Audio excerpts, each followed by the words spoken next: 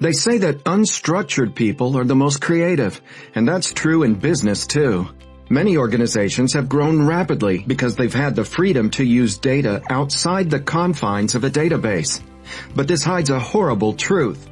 Structured data with a database has security built in, while data in files in multiple formats do not. But it's my job as the Chief Information Security Officer to raise the security of unstructured data without compromising the freedom and high productivity the company enjoys. Yep, I get all the plum jobs. Thankfully, I'm not alone in this challenge, and Micro Focus has allowed me to apply the same processes that I apply to our structured data as I do to data held in documents, spreadsheets, and even videos.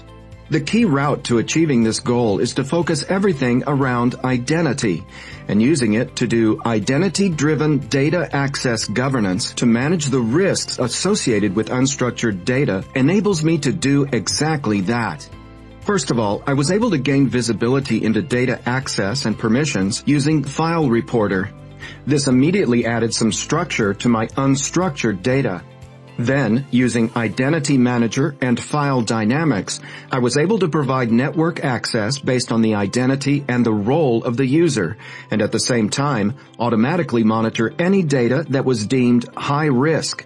Finally, I was able to remediate using Identity Governance and File Reporter to ensure that we showed evidence that we were meeting the compliance requirements of the information through data access reviews.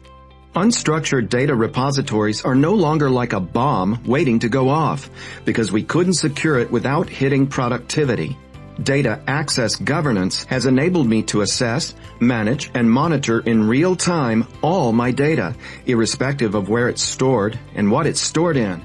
I now seem to be flavor of the month at the board meetings from both the compliance team and the chief exec, and that's doing no harm to my career prospects. So, provide, secure, and protect all your data with Micro Focus.